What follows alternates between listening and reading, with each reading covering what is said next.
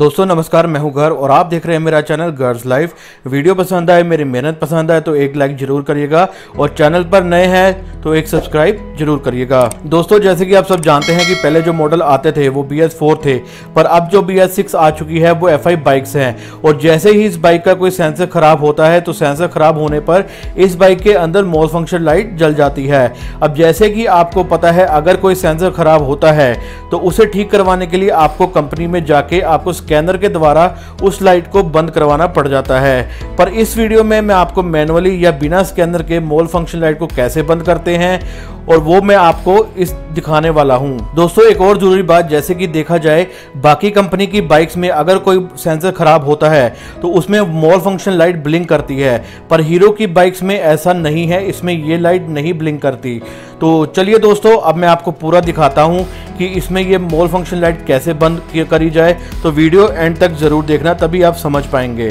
तो देखिए दोस्तों, अभी मॉल फ़ंक्शन लाइट जल रही है। और दोस्तों बाइक को हम जैसे ही स्टार्ट करते हैं तो ये लाइट बंद हो जाती है। बाय द वे दोस्तों, ये मॉल फ़ंक्शन लाइट है। और मान लीजिए तो दोस्तों, अभी मैं आपको नीचे इंजन के पास एक सेंसर दिखाता हूँ। तो ये है आपका टेम्परेचर सेंसर और मान लीजिए किसी कारणवश ये सेंसर आपका खराब हो जाता है। और जैसे ही इस सेंसर की मैं वायर हटाता हूँ तो आप देखिएगा ऊपर जो लाइट है मॉल फ़ंक्शन लाइट वो अपने आप 10 सेकंड के अंदर अंदर जल जाएगी। तो दोस्तों, अभी हम ऊपर खड़े होकर देखते हैं कि लाइट जली कि नहीं। तो यहाँ पर देख सकते हैं आप लाइट जल चुकी है, जो मॉल फ़ंक्शन लाइट है। तो दोस्तों, अब बड़ी है कि अगर आपके पास ऐसी समस्या आ जाती है तो आप इस लाइट को कैसे बंद करेंगे?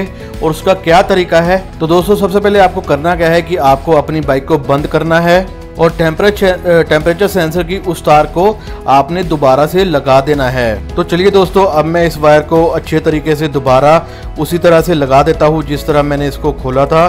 तो अब मैं इसको अच्छे से बंद करने लगा हूँ। तो ये हमारी हो गई पूरी अच्छे तरीके से वायर अटैच। तो अब अगला प्रोसेस हम करते हैं। तो दोस्तों अब हमने आगे क्या करना है कि ये करना है कि अब आपने अपने बाइक को एक बार स्विच ऑन करना है और अपने बाइक को स्टार्ट करना है। एक बार स्टार्ट करते ही ये लाइट नहीं जा, जाएगी। तो दोस्तों फिर से दोबारा से बाइक को स्विच ऑफ़ करना है और कम से कम दो सेकेंड रुकना है। और फिर आपको दोबारा से स्विच ऑन करते ही बाइक को स्टार्ट करना है। तो ये लाइट फिर भी नहीं जाएगी।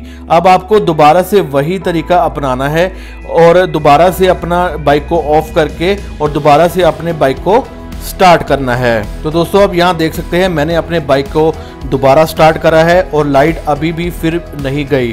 तो करना क्या है? तो आपको तीसरी या चौथी बार जब आप ये ट्रिक अपनाएँगे तो देखिए आप मॉल फ़ंक्शन लाइट अपने आप यहाँ से चले जाएगी। तो दोस्तों, आप देख सकते हैं अब यहाँ पे मॉल फ़ंक्शन लाइट बिल्कुल अपने आप वापस चली गई है और बिल्कुल भी जल नहीं रही और मैंने अपना बाइक स्टार्ट करके रखा हुआ है। तो दोस्तों, ऐसे ही आपको बाइक को कम से कम दो दो सेकेंड ऑन ऑफ़ करके तीन से चार बार ऐसे ही ट्रिक करना होता है तो इसकी लाइट अपने आप ही चली जाएगी। तो दोस्तों, देखा आपने कितनी आसानी से हमने घर बैठे ही आपको दिखा दिया कि आप इसको, लाइट को कैसे बंद कर सकते हैं। तो दोस्तों, इसी तरह ही जो है, हीरो की सारी बाइक्स की मोल फ़ंक्शन लाइट को आप आसानी से घर बैठे ही अपने आप बंद कर सकते हैं और आपको कंपनी में जाने की ज़रूरत नहीं पड़ेगी। तो ये मैंने आपको मैनुअली करके दिखाया है। होप आप सबको अच्छे तरीके से समझ लग गई होगी।